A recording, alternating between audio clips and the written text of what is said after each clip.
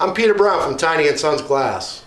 Tiny Sons Glass was established in 1978 when my father and brother and I were at 575 Washington Street in Pembroke. We're certified and qualified to do all your windshield replacement and repair. Tiny Sons Glass is a community-based business. We have 12 mobile vans that come to you. If the weather's bad, you can come here to the shop. We have a nice waiting area, TV, Wi-Fi, kid-friendly, pet-friendly. We also can move about 15, 20 cars a day through the shop. Perfect for you when the weather's bad. So come on down to Tiny and Sons Glass if you need your windshield replaced or repaired. Tiny and Sons Glass, 1-888-64-TINIES. Just call. Thank you.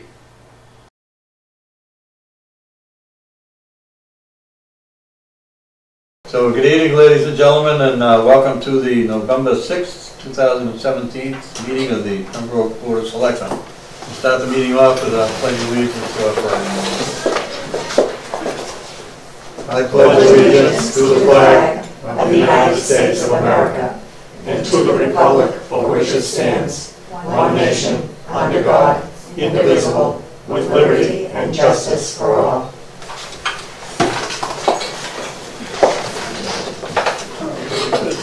So, uh, we'll go any announcements right off the bat, and we'll, we'll have our uh, town memorial committee talk to us about the uh, upcoming uh, Veterans Day activity. Good evening. Good evening. Um, Veterans Day is on the 11th. We've had many questions about it being on the 10th because apparently the holiday is being celebrated on the 10th. But we are celebrating on the 11th. That's when the veterans want it, and we will stick with that. So we're at the middle school, uh, 11 o'clock on 11/11 and we hope to see you all there. We have, chorus will be there, and the veterans will be there, and refreshments from the Legion, and we look forward to honoring our veterans. So we have our uh, veterans agent, Renee Kerwin, Robin Renee Kerwin, I don't even know how she likes, it Robin or Renee? To read the governor's proclamation.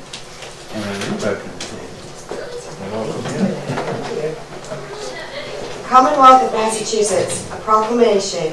Whereas, since the Commonwealth's colonial days, thousands of men and women have served our country in defense of freedom and liberty, and whereas on November 11, 1918, the armistice was signed in the forest of Compiègne by the Allied nations and Germany, ending World War I, the war to end all wars.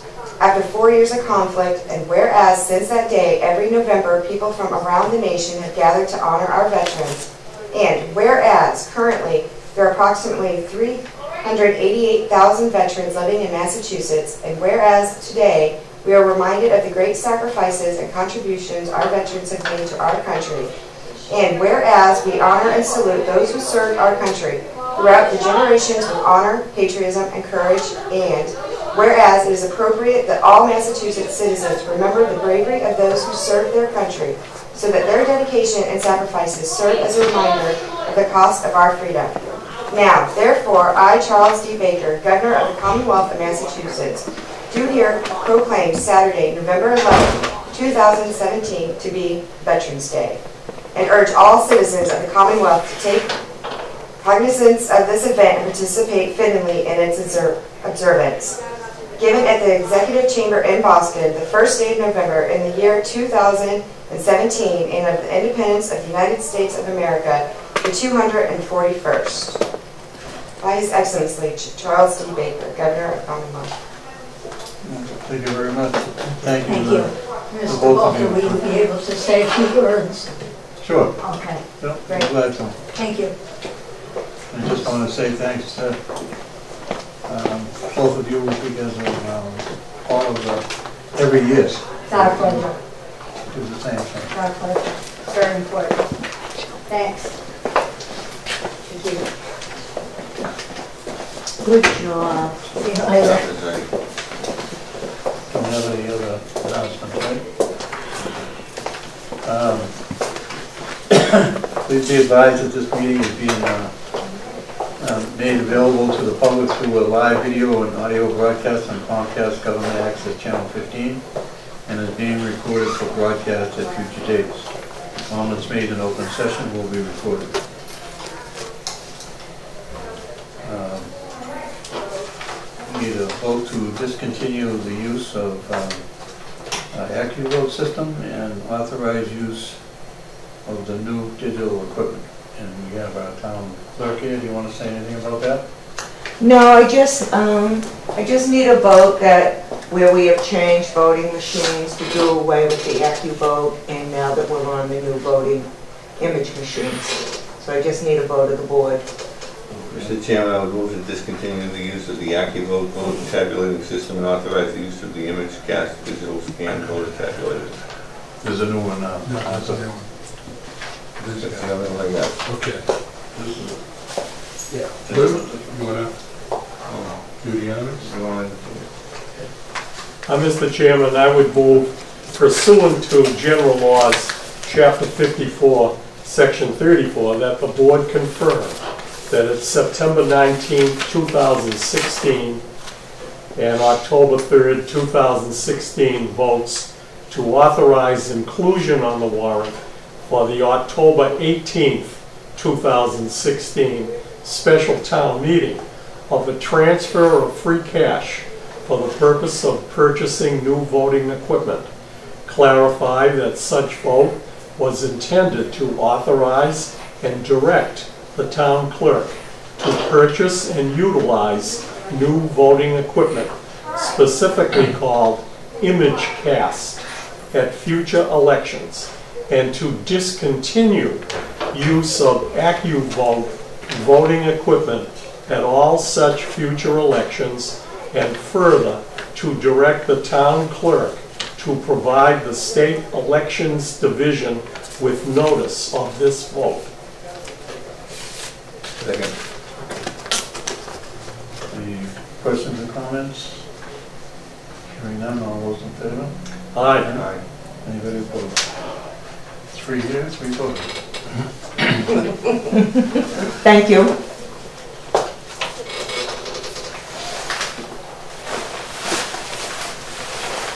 And and, uh, discussion on the municipal uh, program, we have uh, an aggregation. Uh, Ed, do you you got some information? Yes, sir. Um, I'm sorry that we're missing uh, two members of the board, but I guess I'll go ahead with my presentation and uh, I'll have a separate meeting with uh, those two gentlemen at a future notice. So I just want to explain the the municipal aggregation program that was voted on by town meeting some time ago, and you've had a presentation in front of you by Colonial Power. Uh, Nick and I um, have been part of uh, conference calls with Colonial Power and the other communities that are in the National Grid program, as well as the conference call included two communities that are in the Eversource um, district, which is the, um, which would be Kingston and, and uh, the town of Plymouth. So anyway, so in your packet, um, there's a, a uh, section that's devoted to the aggregation program, and I have a cover memo that deals with all the exhibits, and I want to run through these exhibits uh, in the order that they're on the um, uh, memorandum that deals with the exhibits. So, the first uh, exhibit is a typical electric bill, and we're using my electric bill from Plymouth uh, as an example of how the program works. Now, if you look at that, the, uh, the first exhibit, the Eversource bill, you'll see that the bill itself is divided into two parts. You have, and this will be in the right column, it says total charges for electricity. And you see supplier charges, and you see delivery charges. The municipal aggregation program deals strictly with the supplier charge. And that's the only one that's going to be affected. So, um, now, we're going to look at a a typical electric bill and how the savings is going to take place. And I got the kilowatt uh, usage per month, you know, from my electric bill as, as an example. Now, the next exhibit is a chart that is furnished by Colonial Power to deal with the fluctuation of rates. National Grid and Eversource in this area are allowed to change their rates every six months, from November to April and April to October. And these, this chart shows the fluctuation of rates every six months. And you can see, especially the last several years, there have been some serious spikes um, to, you know, 0.16 kilowatt hours, uh, all the way down to 0.80, and back up, and, you know, up and down, up and down. And the aggregation program is supposed to uh, mitigate that by having the same rate for any period of time. The next exhibit is a a similar chart dealing with the rates. Just, and this was done by Casey in our office. The chart down at the bottom just shows how much rates go up and down every six months. So, uh, any questions at this point? So they've gone as high in one section, ninety-six point sixty percent? Yeah, almost double, right, Wow. for a six-month period. And then it goes down fifty percent, forty percent, fifty percent, whatever, and back up again, so. Now, the next exhibit is a chart that is furnished by Colonial Power when it comes time for the town to make the decision as to whether they want to join the program. And this would have been the final uh, fixed price for the town of Pembroke. And there were bidders, Constellation Energy, NextEra, Public Power, and Verdi. Now, if you look up in the upper right-hand corner, under basic service, you see the rate that a National Grid is going to charge Pembroke for the next six months is .1263. 12 12673, excuse me, all right? That's what we in Pembroke are going to be charged for the next six months. Now, what I have underlined is what Nick and I, you know, we're thinking would have been the best rate had we opt into the program. And that would have been a one-year deal from this November to the end of October 2018. And that rate for one year would have been NextEra at .10877. Okay? So hypothetically, if we had joined the program and we picked that rate for that amount of time, that's what we would have recommended to the Board of Selectmen.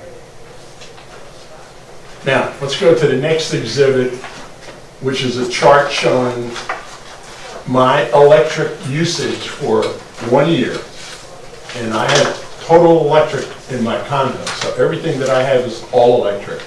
Heating, air conditioning, utilities, you know, stove, the whole enchilada. So, so for the first six months, from May until October, this is my kilowatt usage and times the rate that Pembroke had for the first six months. I'm using Pembroke, I'm using my electric usage with Pembroke rates. So that would have been, for the first six months, Pembroke people were paying 09432. And for the supplier cost for that six months, my cost would have been $300. Now, starting November 1st, people in Pembroke are paying that higher rate now. That .12673. And based on last year's winter usage by me, that would have been over $1,700 that I would have spent in supplier costs. So for the year, total uh, kilowatt hours used for a 12-month period, I would have paid over $2,000 in supplier costs, all right? Now, if we choose to go with the municipal aggregation program, we're gonna have the same rate for the 12-month period. That .10877. And if we use my electric usage for each of the six months period, the first six months, because the rate was lower, I would have paid forty-six dollars more for the six-month period. For the second six-month period, with the higher rate, and we keep the uh, Colonial Power rate the same at .10877, I would have saved $244 for that six-month period. So for the entire year, I- would have saved uh, a little under $200 for the 12-month period. So that's how, that's how it works. Any questions there? Are they all the same? All, these companies the same, they? Well, no, we would have picked the best deal. You know, Nick and I would have come to you with that chart that was furnished by Colonial Power, and we said, this is the best deal that we would recommend for a one-year period uh, at this flat rate, and, and this is what you would save. And so, you know, I would urge you guys to go home and look at your electric bills and see the same methodology, just to see how it would work. May I make a comment on that? Mhm. Uh, I, I did look at my bill, and uh, if I use uh, the .10877 rate, which is on this proposal, uh, I just happened to uh, have a contract with another company uh, moving away from National Grid. And there's a slight difference in the rate that I'm gonna pay for the next year. It's a one-year deal mm-hmm. for me. And if I use the same number of kilowatt hours and compare the rate that I currently have versus the proposed rate of .10877, I would only save 10 cents a month. Mm-hmm. So the fact that I'm in the program that I'm in for one year, I would not be interested in this. But when the year is up, I would be interested. And I know I can uh, join at any time.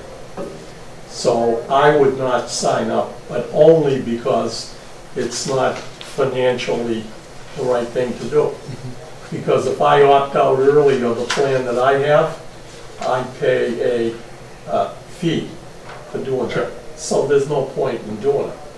But that's an excellent rate, the one that is being proposed. So now, let me show you how it actually works if a, if a community decides to join the, uh, a plan. So, the first thing everybody gets is you get an envelope, which is the exhibit after the, my, uh, the uh, chart regarding, you know, my electric rate. So you get an envelope, So we send all our bills to you? Yeah, good idea. so you get an envelope that looks like this, because Plymouth opted into the program. And so everybody in Plymouth, every resident got an envelope. And this is what the envelope looks like. You know, it says official town business and da-da-da-da. Then in it, Exhibit. Oh, that's my original? Okay. Then, in that envelope, you get this two-page letter, this eight and a half by 14 letter that explains the program. All right? And then, in that letter, in that envelope, you get another envelope, self-addressed envelope, with a card. Now, I don't have those two examples because I sent my card in. So for everybody in Plymouth, if you didn't want to be part of the program, you had to send your card in. If you didn't send your card in, you're automatically in the program. Whether you know it or not. Or like not it or Plymouth, not. but not Pembroke. It'll be that way for Pembroke, if that was the plan. If, if you folks chose, that's why I'm explaining all this, Steve, because, you know, now that I've gone through the drill twice, you know, Colonial Power, and have gone through the drill myself personally at Plymouth, that's exactly what would happen. So just, the last time we spoke of this, we, was mentioned that we needed to opt in. It's- So. No, that's not the case. I just exactly- want that- it's exactly Just make that clear for everybody. Right. So that's the thing, that, you know, we have a couple of employees that live in Plymouth, that work here, they didn't send their card in, they're in the program. So now we're gonna track their electric bills, see how it works. I sent my card in and opted out, I was just curious. And then the other folks didn't send theirs in, you know, because people would be confused about getting that letter and the information that was in there, not knowing that you're automatically in if you don't send that self-addressed envelope to New Orleans is where, where I had to send it, you know, and that's what, that would be the case. So, so that's how it works, that's how that plan works. Now, if you, if you're in Plymouth or any other community that's in, and you've already, you, either you sent your card in and opted out, or you didn't send it in and you're automatically in, you can go on the website, and in this case, it's www.colonialpower slash Plymouth. And it would be, if we ended up in the program, it would be Colonial Power slash Pembroke. And you can go online, and the last exhibit that I have is an online form in which you can opt in or out. And you can opt in anytime, you can opt out anytime. There's probably about a month or so lag, so you would probably be in the program for a couple of months, or out of the program for a couple of months, if you decide to opt in or out. So that's pretty much how the plan works. I know Mr. Mathewson is a resident of Plymouth. Did you opt in or out? In, There you go. So He's in the program. because I'm Scott, Huh? because I'm a Scot. But I cost less. So anyway, that's how the program works. And I, and and like I said, having gone through the drill the last couple of months, uh, on behalf of the board, uh, Nick Jr. and I, um, I wanted to take this time to explain for 10, 15 minutes what we've learned about the plan, and, and I can explain the plan in English. Well, I'm sure that, um, after you look over all these rates from all these other, you know, people that are selling, selling the electricity or whatever, you're gonna pick the cheapest over the longest period of time. I I would imagine that's what you're gonna do, but how does the public know that? So how would, how would I know that? Because this gives me, this gives me the rate that they're offering, and I know what rate I have from my electric company. So how do we, how do I know what all of those other ones are? Is there something that comes to everybody so they know that you picked the right one? No, No. no. It only goes to the municipality? Well, yeah, I mean, what happened is, you know, we run a conference call with, you know, 10 other towns. And Plymouth and Kingston were on that same conference call, although they had Eversource and we had National Grid.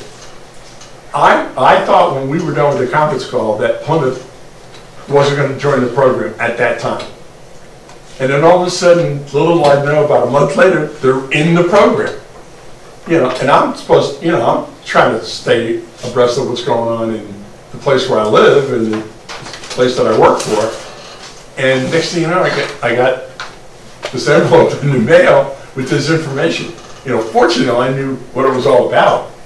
You know, so I made what I considered a, you know, an an intelligent decision, but if you weren't paying attention or didn't know the program, you'd probably pitch the thing. So I'm also assuming that, that uh, the more towns that join it, the less great you're probably gonna get. Well, y- yes and no. Um, You know, and, and uh, Nick had another commitment tonight, and what we've learned is that in, in a lot of instances, it's almost better to be on your own than it is to be with other towns. It- There wasn't safety in numbers. I mean, it- you you would look, they would give you two charts. They would give you one that included all the towns that would be in National Grid that were part of this go-around, or they would give you a chart that would just be Pembroke by itself. And a lot of times it was almost better. I mean, in the case of Kingston and Plymouth, it was better, the Plymouth got a better rate by themselves than they would have if they had Kingston with them. It's just the way it worked out. That's the question I have. Plymouth's rate is less than what they're quoting Pembroke. Mhm. What, what goes into that? Why, why can't we get that rate? It has to do with whether or not, you know, A, the company itself, and whether or not there's going to be a charge, and I can't remember what the charge is going to be. I think it's, um, it's not a transmission charge. There was another charge that may, may come down the pike in six months, and I'll, and I'll, and I'll get that for you. But there was something that, you know, that it's not all apples and apples. You know, it depends on the company itself and, and who else you're in with. And you're right, yeah, uh, evidently, you know, Plymouth saw that rate and they jumped on it.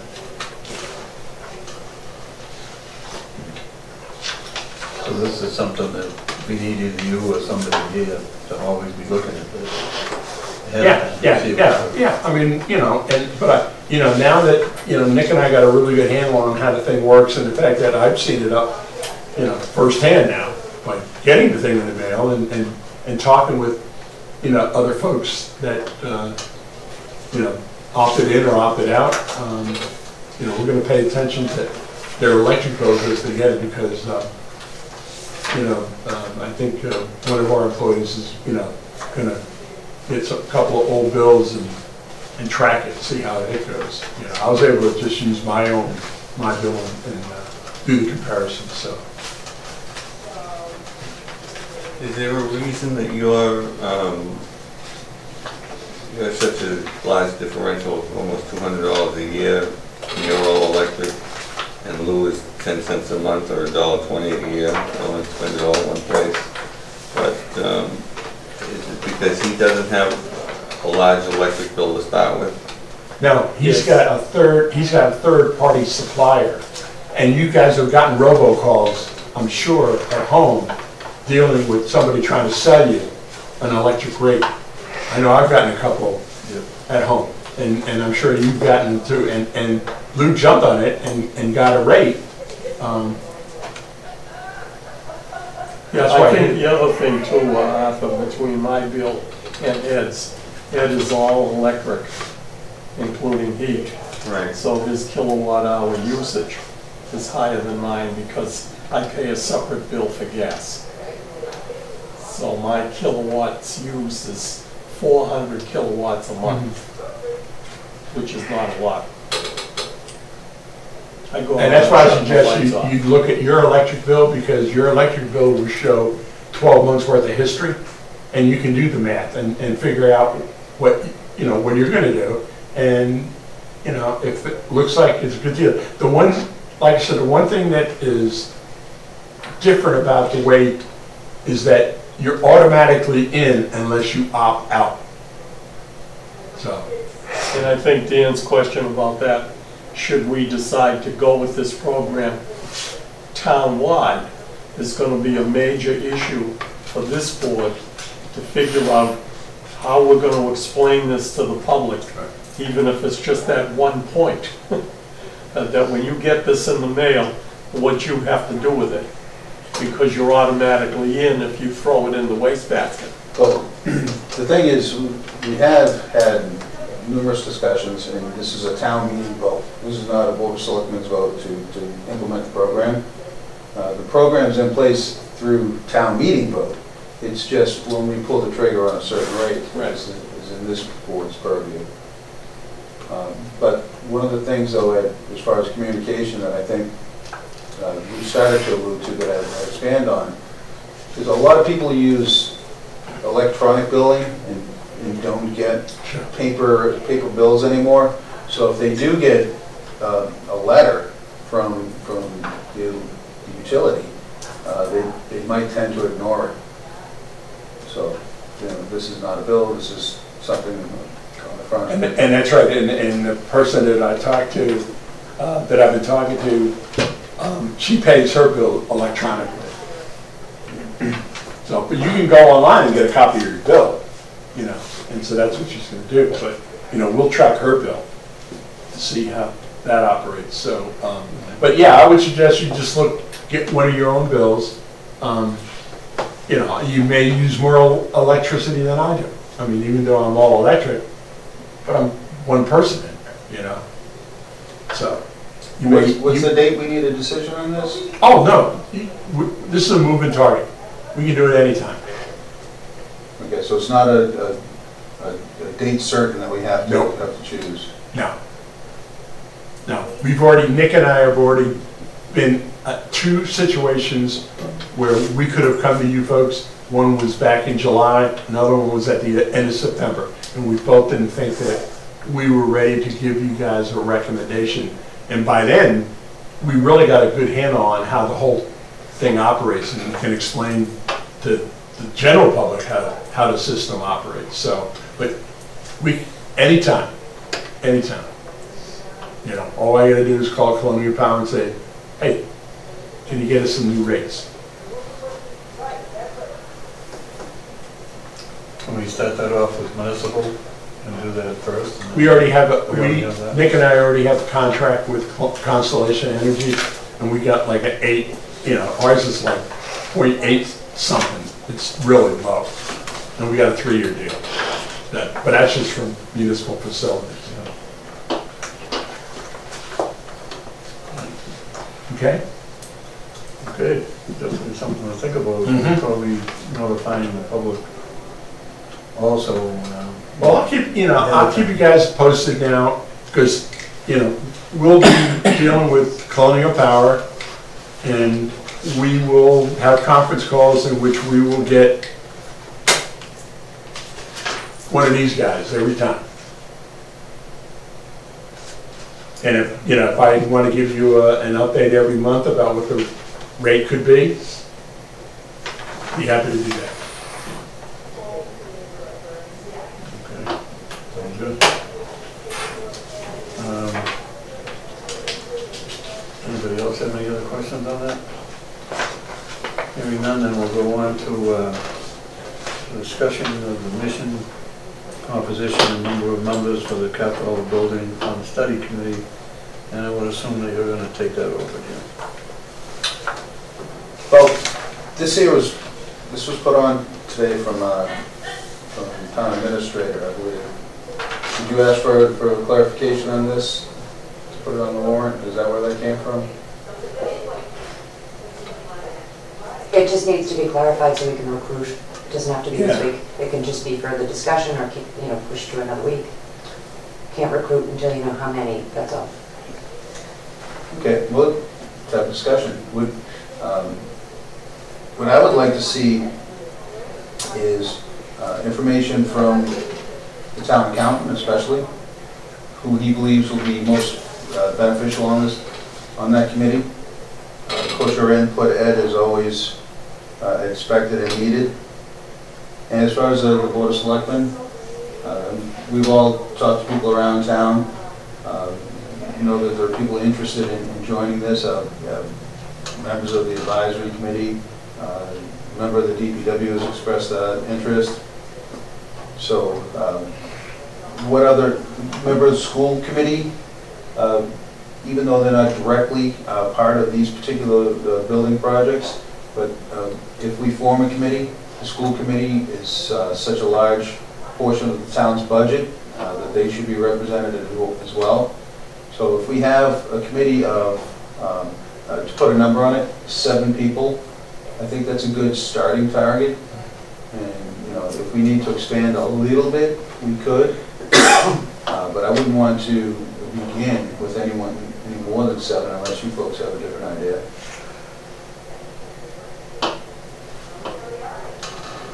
I think I would agree on seven. And I think the list that you just went through uh, would be uh, a good representative uh, group of people. Um, I didn't know whether we would need anyone from planning or the assessors or But I would, I would, see, every major, every major board and committee, especially the ones within town hall, uh, should have a say in this. And everyone, everyone's input, whether you're on the committee or not, is always welcome and can be put to use. So I just want to have a good representative, uh, representation of everyone that, that uh, will be affected by this. And also, I want the people that, that are willing and able to, to make a contribution as far as the financial aspect of this. And that, that's what this is. We've already done the need studies. We're just trying to find ways to uh, get funding for it, other than uh, a straight Proposition two and a half override. We want to supplement uh, a direct taxpayer burden where we can. And and that's what, that's what this will be. This will be a round, uh, I see it starting off as a roundtable of, uh, of ideas, and then uh, maybe solidifying in the next month or two into solid proposals for, for town meeting.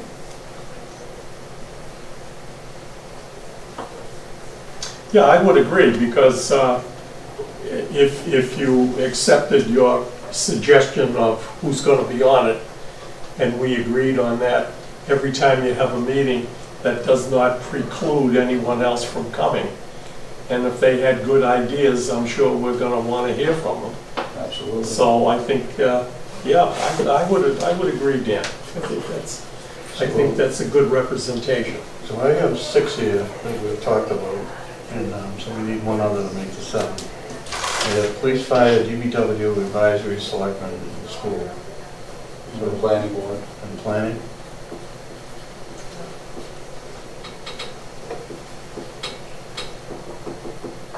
So that would be seven. And you know, no matter what department you leave out, somebody's gonna be happy. Yeah, well, seven, and it could creep up to nine, but, uh, but I think, uh, once the committee's formed, if there's, if there's, uh, uh, people knocking at the door wanting to join the committee, that's a good thing, as long as we keep it manageable. Um, I would say no more than nine if, uh, if, if we get, if we get the interest, but if we keep it at seven so that we won't have trouble getting a quorum like we've, we've done with other committees too. So it's a good place to start. So can I make a suggestion that that we do the seven that you put on there with two alternates? And we don't know who those two alternates could be. You could actually pick them once you get the seven. So if we leave two alternates open, there'd be two openings for two other groups, that you may say, hey, you know what, I think we, we could use an alternate from this department, or we could use an alternate from someplace else. So That's an excellent idea, Bill. That way they're, they're there and and we'll know that if someone is an alternate and shows up to meetings, then, you know, maybe we could expand the board and, and give them a seat at the table. Well, if somebody else doesn't make it, the alternate could fill in for a vote, or, or get into that discussion with them. Right, and, and um, if, if we leave it as the, the departments can choose their representative, Right. uh, either a vote of the board or committee, or the the choice of the chairman. Uh, I think that's a good way to do it. No, that, um, yeah, I can't really make a motion, but if I did, I was able to make. a Would you like me to read what you have? I would, I would say that, that we would have one number from police, one from fire, one from one from advisory, one from the selectmen, one from the school, one from the planning board, and two alternates to be determined. I would suggest somebody from the community center committee.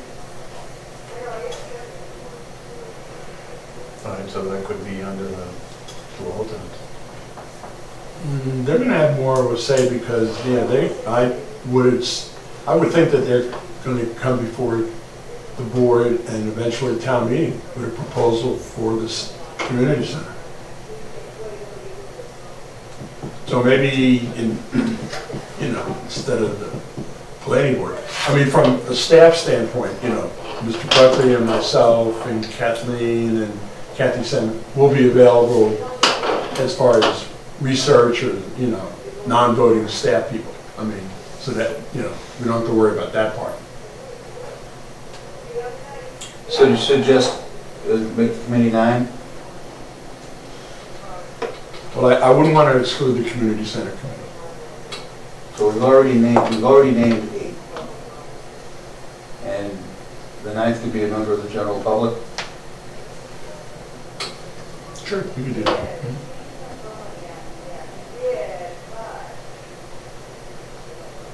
Have we had anyone express interest uh, to town No, but some hall? folks have wanted more information, so that's why this is very helpful.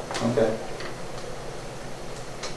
Okay, I mean, we don't have a mission statement other than the, the the broad brush of what we're trying to accomplish.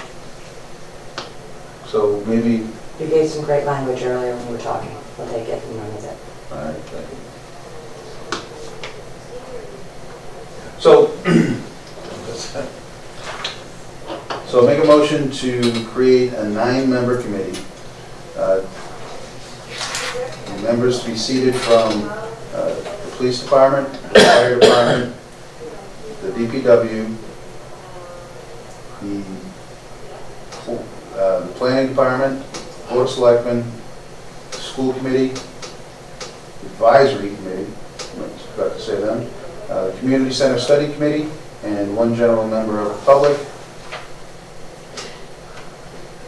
And that's my motion. Second. Any other uh, discussion? Hearing none, all those in favor? Aye. Anybody opposed? Alright, So we are now on the board, so we have the numbers. um,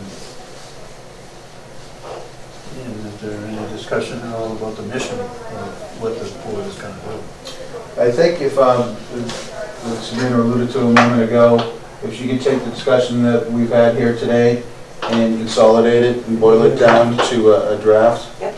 I appreciate that, thank you, Sabrina. You got it. Sounds good. So we would address that at another meeting. Hopefully next meeting. Yeah. Right, right, we, we we need interest, we need, we need the fo- the the folks who want to join. Yep. Um, That's really, that's really where, where the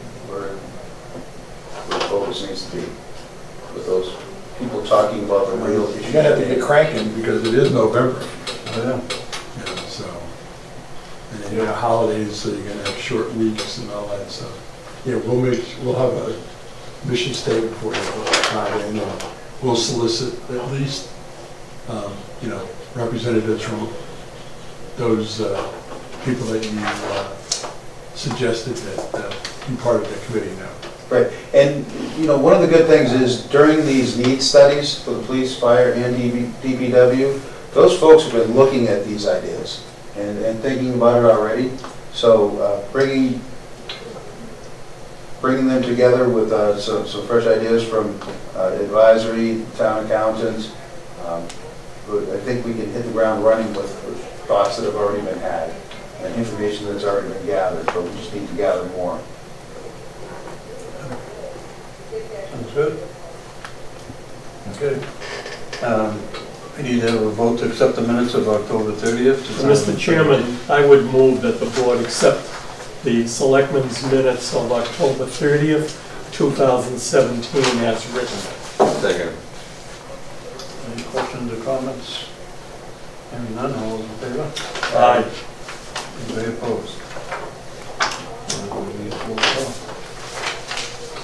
Any old business? Uh, Mr. Chairman, I had uh, two items I wanted to ask.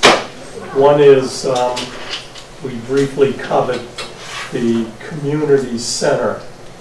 And uh, if we have a committee and who's on the committee and what's going on with the committee, we haven't had an update. I think you're planning on having one next Monday night. Excellent. Thank you for that fast action, Mr. Uh, My second question, I guess I will address to the town administrator as well. Um, Can we have an update on the solar farm? Absolutely.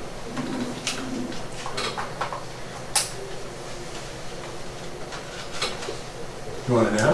If you have one now, yes. Uh, We don't have a target date for when they connect to the grid, but I'll see if I can get um, um, Mr. Dressinger, who's our contact person with Onyx, to see if he can firm up a date when they'll be connected to the grid. Now, I have to admit that I don't have any knowledge on what's involved with connecting to the grid, but it seems like we've been waiting for that to happen for quite a while. And uh, that's the reason why I bring it up. Um, We'd all like to uh, have that solar farm active. And uh, I don't really know why it can't be. Thank you. If you could find out any more information, I'd appreciate that.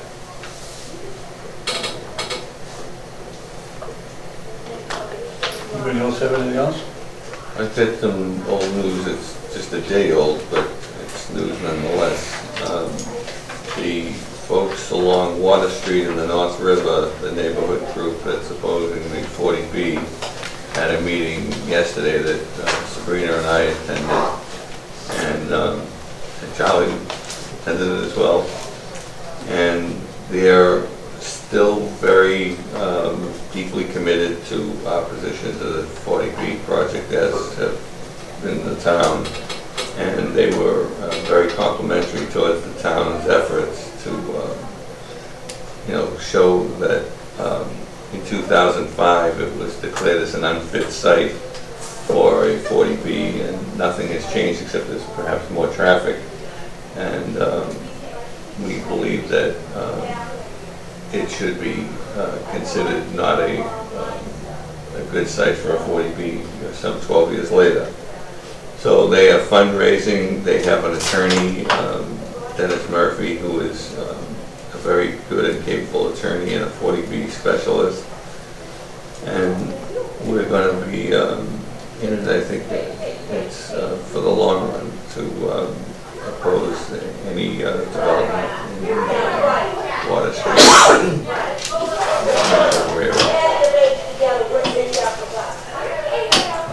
If I wasn't out of town, I would have made it myself, but uh, Yeah, it it was um, held at the Chapman's house, which is a beautiful yard that looks out over the North River. and It would be a shame to have a condo separating them from uh, their view.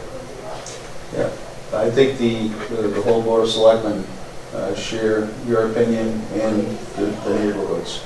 Um, We need to fight this 40B from that area, the development is not suitable um, for that street, for that area, Yeah, I'd just like to add, uh, for anyone who's watching, that the uh, town has put together a very extensive uh, report that was sent uh, to the Housing Authority with all of the uh, arguments why that this project would be detrimental to the neighborhood and to the town. A very strong, comprehensive report, and we have not heard back yet, so hopefully uh, we will, and they will see the merit of what was represented in that report. very good. I do have uh, one thing that I just wanted to bring to the attention uh, of the board, and I made copies of uh, the information that I received. Um, Back in the first part of October, I think I advised the board, we sent a letter to uh, Brockton, which we have never heard back from.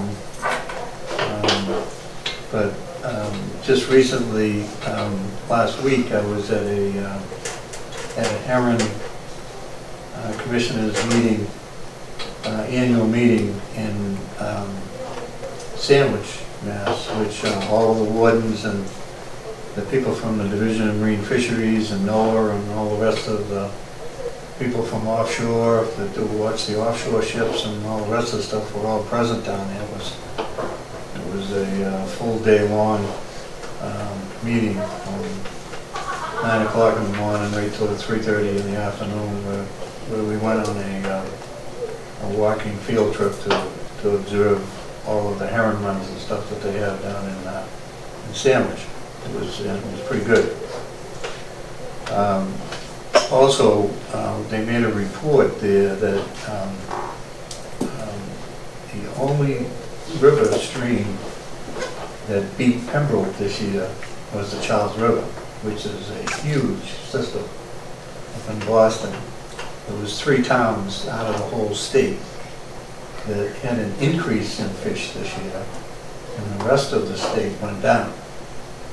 Um, So they were quite concerned about that, but they were also very happy that Pembroke was, was one of the towns that we went up in. And to beat Weymouth, not to say to beat them, but um, it all depends how many fish, you know, come up or whatever, but to have more fish than Weymouth had in their run this year is, is really great. And we topped out at 300 and something thousand fish this year.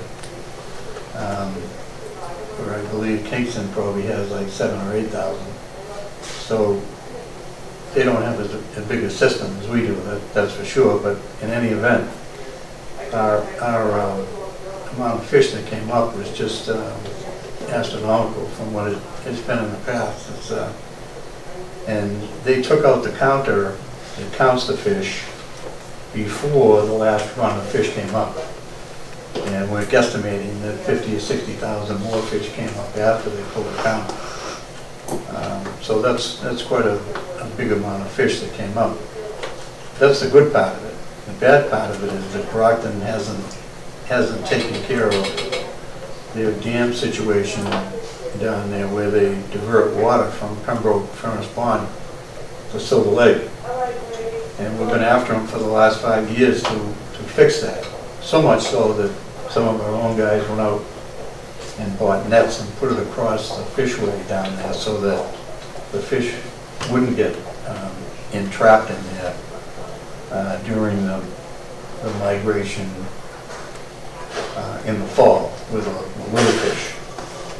Um, We can only think that the bigger fish are gonna go out the natural way and not towards the flume, but we don't know how they get in there, but um, in the first part of October, we received information, um, I actually got a, got a um, message from the Division of Marine Fisheries indicating that there was a fish kill in Silver Lake, um, and they were sending um, uh, people from the Division of Marine Fisheries down to Silver Lake to investigate it. Um, I do have the investigative report that's here, a copy of it, and I also have a copy of the email that was sent from uh, Alex Mansfield, who is, he is the uh, uh, Ecology Program Director for the Jones River Watershed, which backs up to Silver Lake. Um, And just to, just to read this quick thing, it says, uh, Hi Pembroke and North River uh, Advocate, some of you probably know about this already, but just in case that you don't, several thousand river river herring were recently found dead in Silver Lake. Brockton's dam and overuse of the water prevent herring from getting into Silver Lake from the Jones River. This means that the dead fish are yours, um, i.e. we were diverted over from Furnace Pond. The, the amount of work you have all been doing, putting into the fisheries restoration in Pembroke and the whole North River system has been truly remarkable. It's really heartbreaking to see this um, absolutely unnecessary destruction of fish. Our watersheds uh, are linked in really unfortunate ways, and see the attached Division of Marine Fisheries describing the incident. And, um, and I do have a copy here that I'll give uh, Sabrina so she can post it on her website or whatever, but uh, it indicates that um, that they were either juvenile or um, last year's juvenile fish that got trapped in there. Um, And there was over 2,000 fish, Appro- they said approximately 2,500 uh, fish that were uh, up on the banks that evidently got caught there um, from the water lowering. So it- it it appeared that they were trying to head towards the Jones River for an exit. Um, And then the water, they they draw the water down so low and so late that um, evidently they got trapped in that area down there and weren't able to make it out. So, uh, so they died. But that just goes to show that, that these fish are going there from Pembroke. Um, And also, if, um, if they're not diverting during the times that we're watching everything down there, I, I just can't understand how they get there, because the juvenile fish, we put the nets across to make sure that the juveniles don't go in there, because Brockton refuses to do it. I understand that, that there's some discussion out there now, but nobody from Brockton has either got a hold of the Division of Marine Fisheries or Pembroke Fisheries to talk about anything to do with, um, with uh, helping the matter out down there, so. And it is kind of disheartening that, um, that the guys do a lot of work in order to bring the fish back, and then they just go right through that tube into Silver Lake, and that's the, that's the end of it, they never come back, so. um, I don't know whether another letter is in,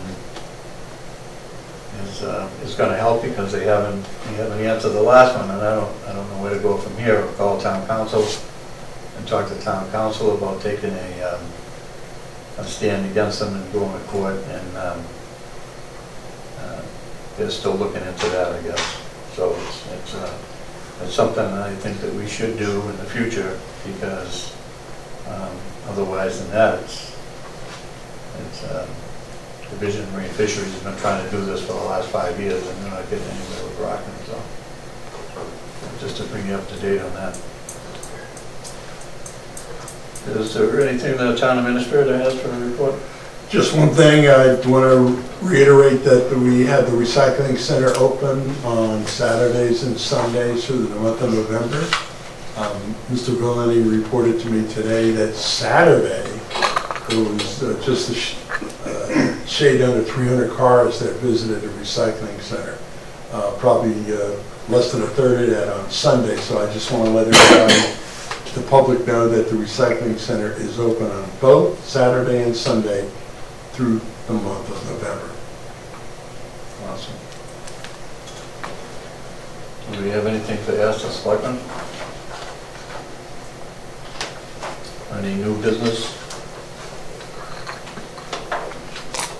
There's some upcoming issues.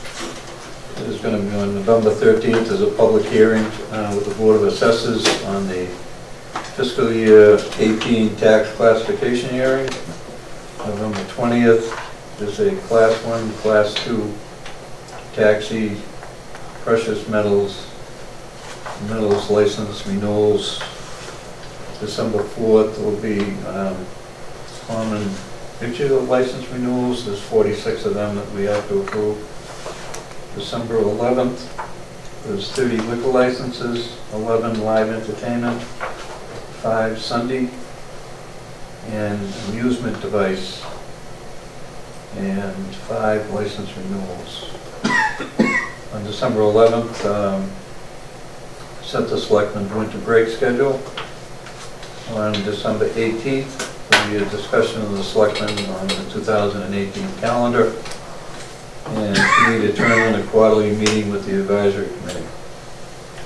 And is there a need to go into executive session? Yes, sir, it'll take you 30 seconds. Uh, Mr. Chairman, I would move that the board go into executive session under Mass General Laws, Chapter 38, Section 21, to discuss strategy with respect to collective bargaining if an open meeting may have a detrimental effect on the bargaining or litigating position of the public body, and the chair so declares. AFSCME DPW Unit Amendment 1 to the Memorandum of Agreement. Second. And the chair does declare. Um, Yes. Yes. Yes. And I'll yes. So that will uh, conclude uh, tonight's meeting on November 6th. And uh, we're going into executive session, and we'll be coming back out, but there will be no need for a vote after we come out, so we'll only be coming out to adjourn from the selectmen's meeting. So, um, have a good week, and uh, we'll catch you next week, and uh, thanks for listening